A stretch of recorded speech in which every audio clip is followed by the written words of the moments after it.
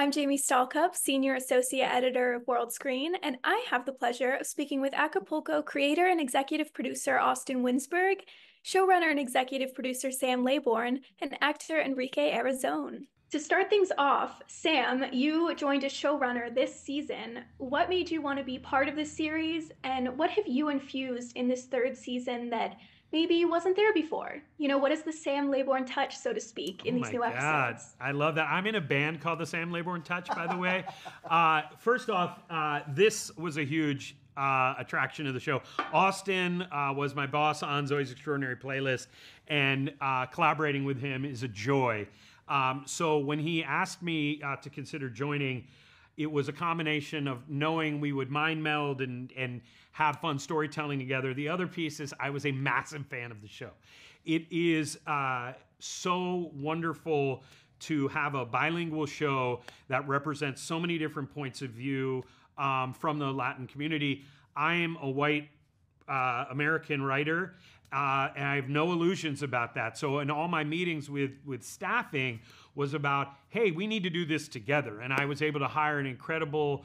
Uh, all, most of the writers speak Spanish. Uh, many of them are from Mexico or, or Mexican American, and in collaboration, uh, we were able to, you know, continue the vibe of what was already there. But in terms of what we brought to it, uh, the Sam Laybourne touch. I mean, I'm just going to live on that all day. Um, was really just about uh, spending two weeks, three weeks with Austin, mapping out where we wanted to go, and we want to, you know, turn up the authenticity. We have more Latinx characters in the in the third season than the first two, and like even more. And so we can drill down into more specifics.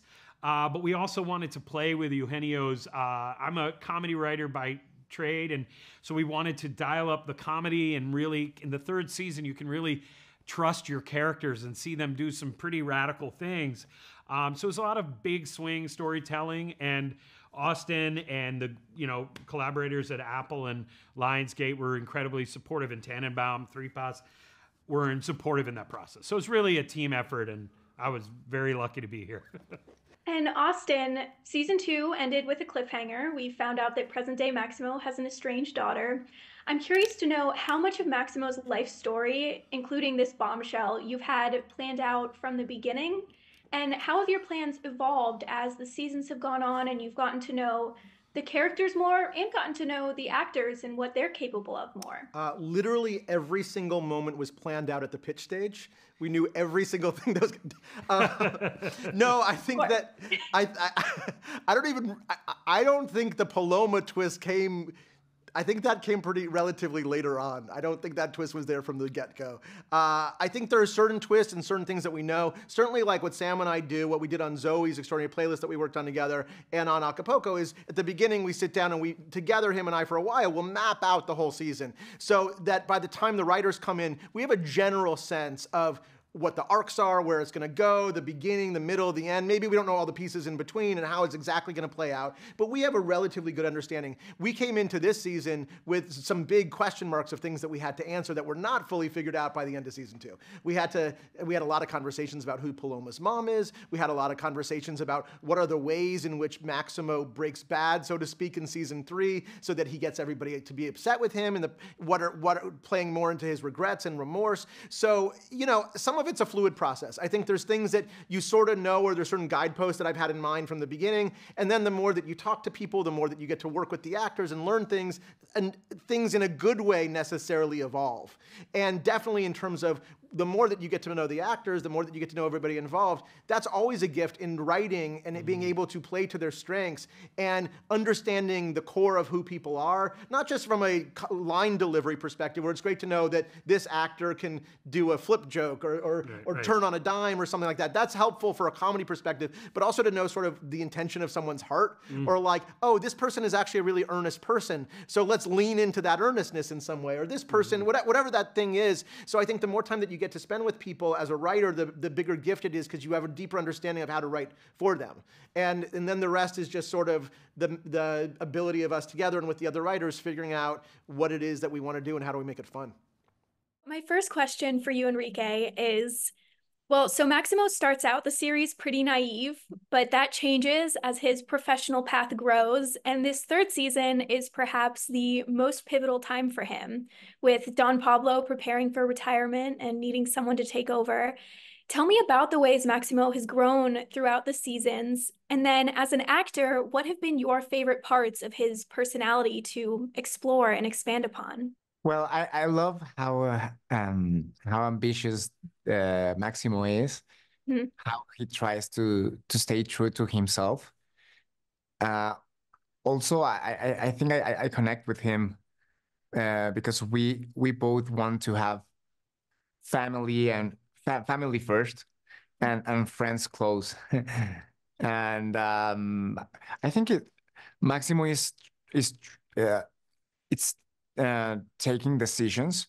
He's making these decisions, uh, but but he he has to follow his intuition, which he is, um, and it may not it may not uh, take him to to where he wants, but it's part of growing. It's part of of this journey. So Maximo is is having his own journey. He's he's he's a young guy. He he's he's just uh, he's learning from his mentor. He wants to take his place once once he when whenever he retires. He he he he has to he has to prove uh, to Diane that he's capable and and that he can handle the situation.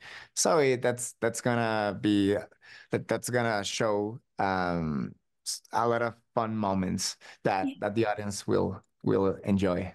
And it is such a fun, lighthearted show, but there are deeper, more emotional moments, especially last season, you know, surrounding his mom's wedding. We see Maximo get choked up and on the verge of tears a couple times. I know you've acted in dramas before, so it's not like it's anything new to you, but what is it like to delve deeper into that more emotional aspect of Maximo? And is it an adjustment to make the switch from his happy go lucky personality to those more emotional moments? I love when he has uh, these scenes where he can like show more layers of of his of his heart. uh, I think uh, I think that's why Acapulco is so successful because it perfectly blends comedy with heart. Yeah. So you get to know each each character and you can relate to them um, they're not uh, they are very our characters are relatable. So um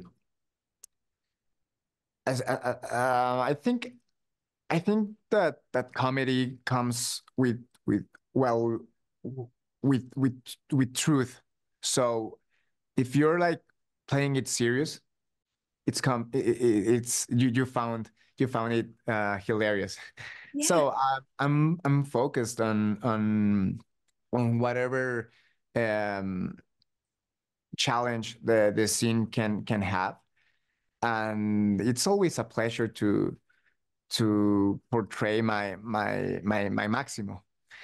I have a lot of fun and and I have a lot of support. So I I I feel like uh like it's my environment and and I feel extremely free for uh to to to propose, to suggest, to to have my own take on the character. Well, that is all my time. Oh my god, that's Thank so fast. For, yeah, I know. Thank you for taking the time to speak with me. It is such a fun series, and I can't wait to see where it goes from here. Thank you so oh much. Thank, Thank, you, you so much. much.